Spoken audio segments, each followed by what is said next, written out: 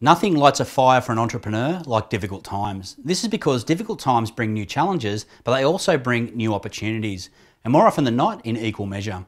In the Crisis Marketing course, I talk about the importance of mindset, and it's important because your mindset determines how you manage challenges and also how much opportunity you actually see.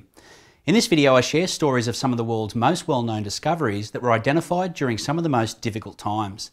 Where it's important to manage challenges that come with change, it's also important to keep an open mind and to continue to pursue new opportunities. So let's go to the 1930s. The Great Depression hits, it's a really bad time. Unemployment hits 25% in the United States, and there's this guy called Leo. Now, Leo's gone from dead end job to dead end job, and by the time the Great Depression hits, he's unemployed but he had this love for tinkering with music and radio equipment. So he had nothing to do while the world was falling apart, so he scraped together some money and started a little business.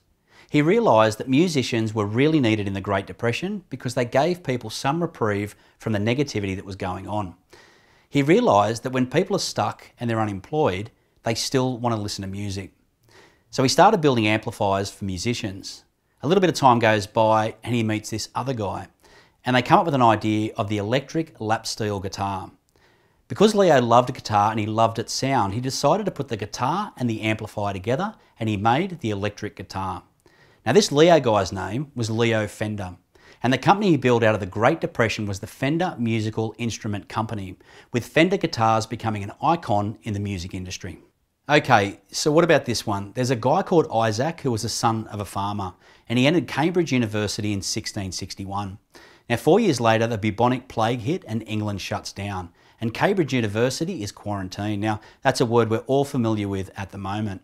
Now, this forced Isaac to move back to his hometown. While the whole of England was falling apart, Isaac had nothing to do but sit around. And one day he was in the garden and he saw an apple fall from the tree. Now, this made him ponder why apples always fall straight to the ground rather than sideways and upward. And this inspired him to develop the laws of universal gravitation. Now, this Isaac guy was Isaac Newton. And in 1687, he published his landmark work Principia, which features his three laws of motion. Then there was a panic of 1893, which was a serious economic depression. Now, leading up to the depression, there were a series of recessions, and in 1891, Dr. James Naismith was working at the YMCA as a physical education instructor.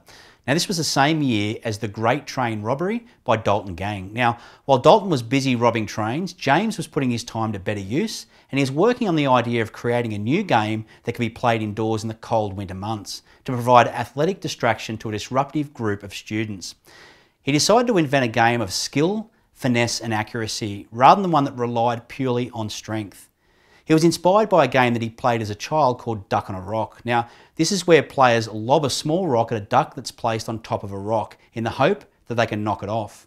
Now, using a soccer ball, two peach baskets 10 feet up in the air, nine players on each team, and a set of 13 basic rules, Dr. Naismith invented the game of basketball during one of the most difficult times in American history. Then there was a panic of 1910 to 1911, where this guy called Jacob dreamed up the idea of an electric razor because he was sick and tired of lathering up freezing cold water to shave.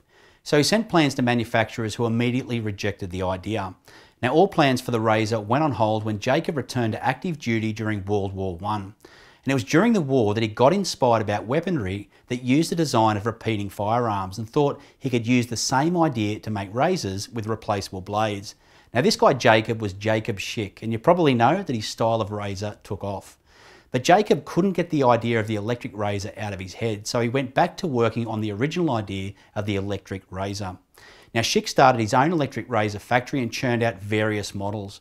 He filed for his original patent in 1930 during the Great Depression, and the rest is history. Now here's another one. In 1930, during the Great Depression, Paul and Joseph Galvin invented the car radio. Now legend has it the young brothers were on a double date and one of the ladies wanted to listen to music while they were sitting in the car up at the lookout. The brothers thought it was a great idea and went to work to create it. They wanted a catchy name for their invention and they went to market calling it the Motorola. As you can guess, the name stuck, and three years later, right in the middle of the Great Depression, they cut a deal with Ford, and soon Ford was putting their devices in all of their cars. Now, next came deals with the police and fire departments. The Motorola was quickly making the Galvin brothers rich and famous during one of the toughest times in history. There are so many success stories that come out of the most difficult times in history, and I have no doubt the challenges we face in 2020 and beyond will be a catalyst for an enormous amount of innovation. Some at the macro level that will change the way we all live our lives, and some at the micro level that will just change the way that we operate our businesses. The important thing is to not let challenges consume you, but to manage the challenges and to constantly seek new opportunities.